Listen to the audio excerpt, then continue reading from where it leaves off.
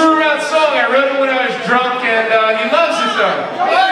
Do you want to hear it? He might have an orgasm after this. I don't know. He's here tonight.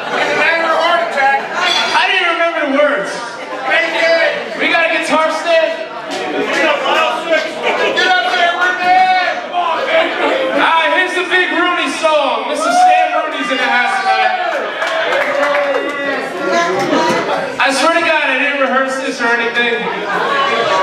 But Rudy King, he's a big supporter of mine, so I wrote him a damn song, and what, what the hell.